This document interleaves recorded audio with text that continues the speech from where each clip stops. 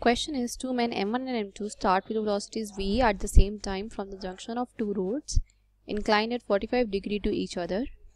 If they travel by different roads, find the rate at which they are separated. तो हमें दो roads दी हुई हैं O A and O B and the junction is O दोनों का angle है 45 degree and two man are travelling at these roads तो मान लो एट एनी टाइम टी पहला पर्सन पी पॉइंट पे पहुँच गया था और दूसरा पर्सन क्यू पॉइंट पे पहुँच गया था ठीक है?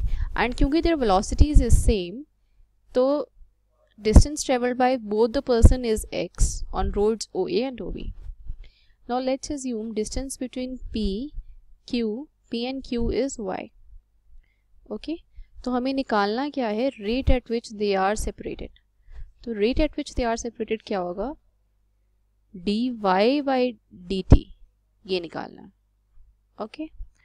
तो इस क्वेश्चन को करने के लिए हम क्या करेंगे? Let's apply cosine formula on triangle O P Q तो in triangle O P Q अगर इस पर कोसाइन फॉर्मूला अप्लाई करते हैं तो ये क्या आ जाएगा? P Q square is equal to O P square plus O Q square plus two O P O Q into cos forty five degree ये होता है कोसाइन फार्मूला ओके इसको फर्दर सॉल्व करेंगे. पी क्यू क्या है? Y Y square is equal to O P क्या है? X O Q is also X plus two X into X into cos forty five की वैल्यू क्या होती है? वन बाई रूट टू इसको सॉल्व किया.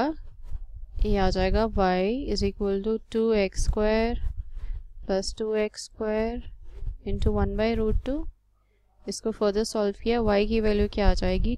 Two minus root two X अब हमें निकालना क्या है? हमें निकालना है D Y by D T तो इस इक्वेशन का हम क्या करेंगे? डेरिवेटिव ले लेंगे विद रिस्पेक्ट टू टी तो D Y by D T क्या आ जाएगा? ये तो कांस्टेंट है।